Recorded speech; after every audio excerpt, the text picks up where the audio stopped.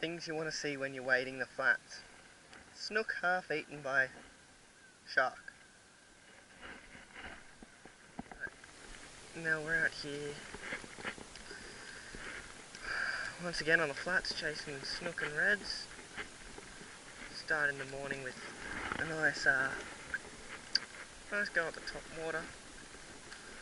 Got to where I wanted to get real early, so I'm here at the perfect light. Once again got the Loco Perro on in the Eternity.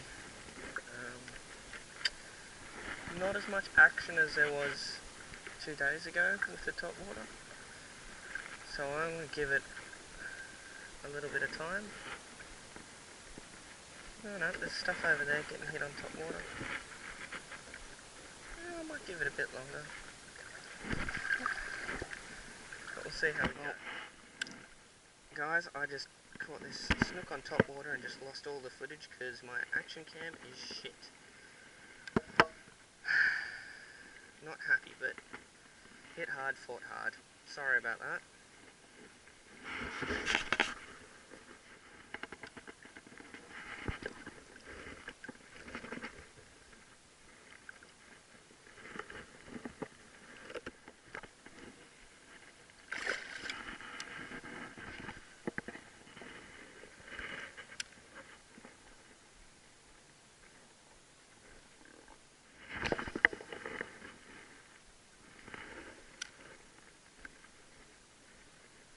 Yep. Yep.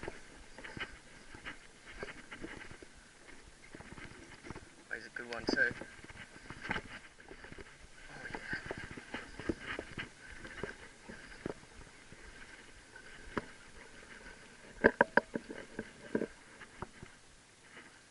Oh another one. Oh, he's a little bit smaller than the other.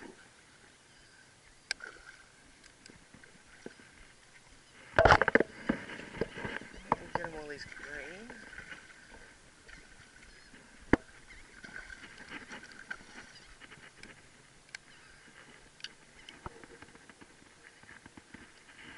There we go.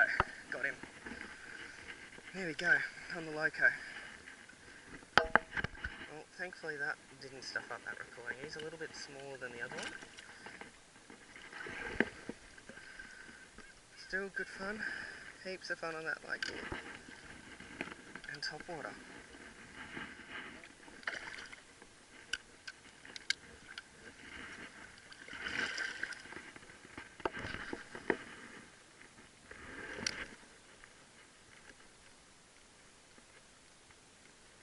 Oh yeah, another one. Oh, this one's got some curry about him. Jesus. Oh, yes. Oh, he's got some go. This one might be actually a bigger fish. He feels heavier. I might have side hooked him.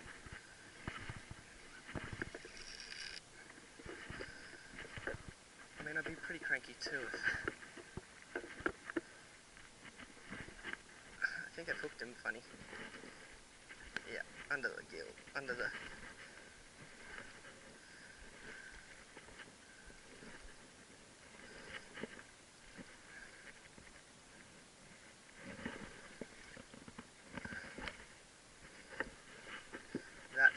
He's uh he's going crazy. Hooked him in a strange place. See? That. Another one. Hey guys.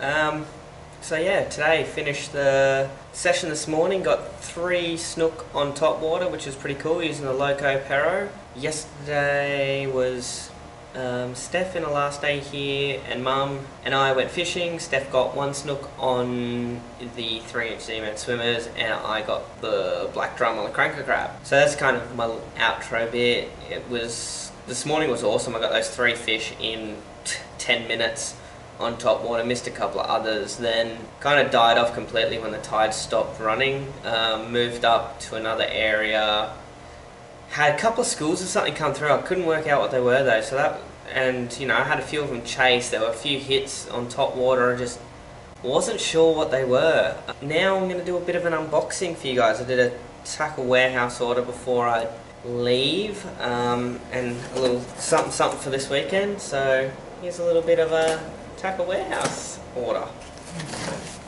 You know, got got some baits that I want to use at home that not many people are using yet. Bit of trial and error, see how they go. I'll be doing vlogs on it, um, keeping everyone updated with the progress, whether I'm catching fish on them or what.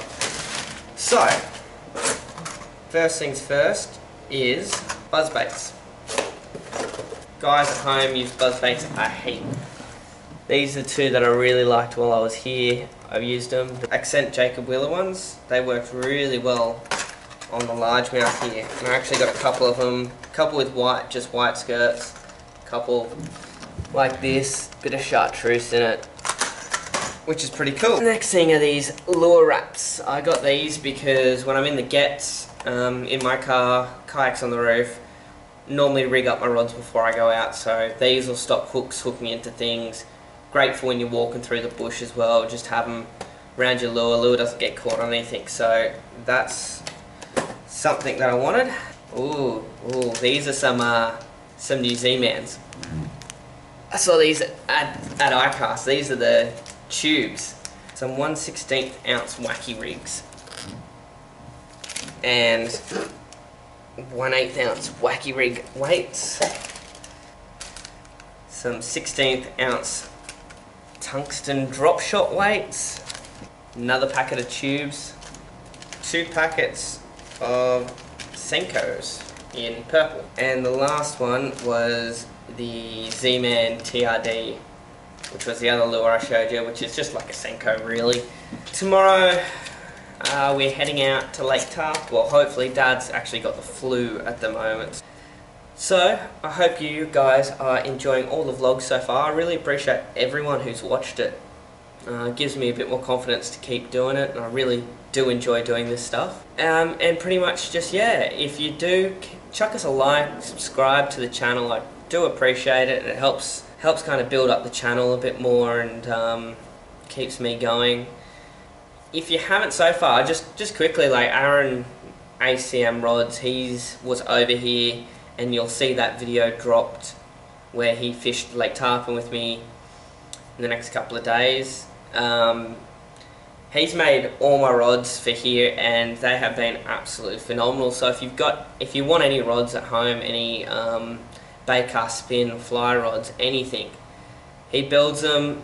He's got the, the blanks he has are wicked. He does North Fork bats, and he does a whole range of blanks um, to suit everyone's needs. I've got everything down to a really finesse bait caster, like two to six pound bait caster, two to six pound spin, um, up to he does offshore jigging tuna rods, like uh, blue water stuff. So he does everything.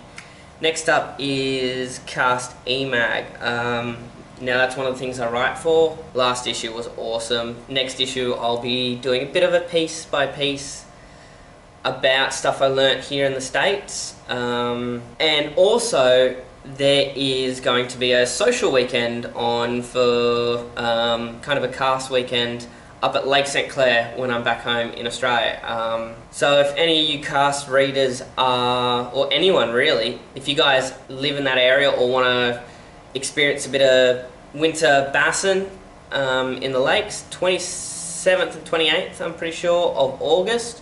We're going to be at Lake St. Clair. We're going to set up. There's going to be a heap of us there. It'll be good fun. All you got to do is bring some communal wood for the campfire, your own food, water. There's no electricity up there. Oh, there's limited electricity up there.